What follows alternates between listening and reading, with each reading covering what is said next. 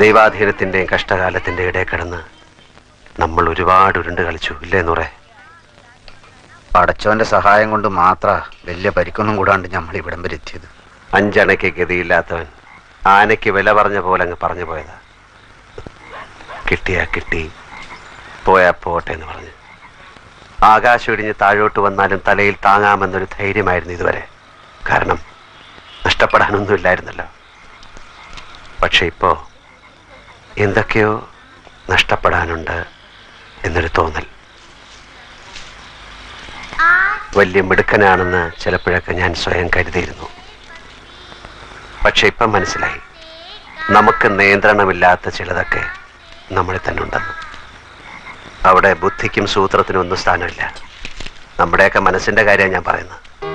പൊള്ളിച്ചുകളികൾക്കിടയിൽ അറിയാതെയും പറയാതെയും എങ്ങനെയോ ഇഷ്ടപ്പെട്ടു പോയതാണ് ലേഖയെ. ഒരു നുണയിൽ നിന്ന് രക്ഷപ്പെടാൻ മറ്റൊരു നുണ പറഞ്ഞ്. ഒടുവിൽ ഊരാക്കുടുക്കായപ്പോൾ ഒരു ജീവശ്വാസം തന്നവളാണ് ചന്ദ്ര. ആർക്ക് നേരെ ഞാൻ കണ്ണടയ്ക്കുക? ആരോടാ ഞാൻ ഇനിയും കള്ളം പറയാ? എനിക്കറിയില്ല. ഒരു തീരുമാനം എടുക്കാൻ കഴിയുന്നില്ല. പക്ഷെ എന്നും എല്ലാരെയും സന്തോഷിപ്പിച്ചുകൊണ്ട് എന്നെന്നും സ്വയം ചതിച്ചുകൊണ്ട് ആർക്കും ജീവിക്കാൻ കഴിയില്ലല്ലോ. എനിക്കും അതിന് കഴിയില്ല.